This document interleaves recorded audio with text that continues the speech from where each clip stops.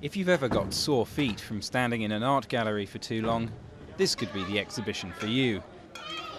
Why stand, after all, when you can jump, swing, and climb? Movement like sitting on a chair or just walking or using a ladder can be dance. And at the same time, the visual artist said, well, actually, collecting dust can be art. So it all became that kind of um, engagement with life or saying art is life and life is art. So that's the starting point for the exhibition.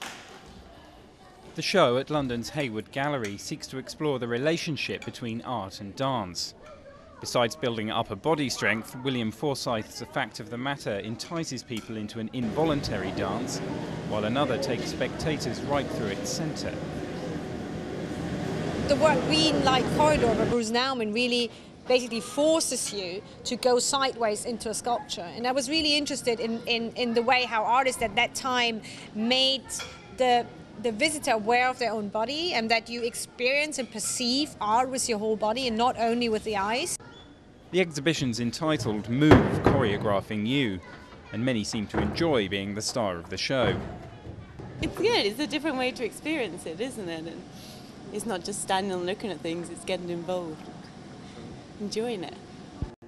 Though it won't necessarily turn you into the next Rudolf Nureyev, the show does offer a uniquely hands on artistic experience.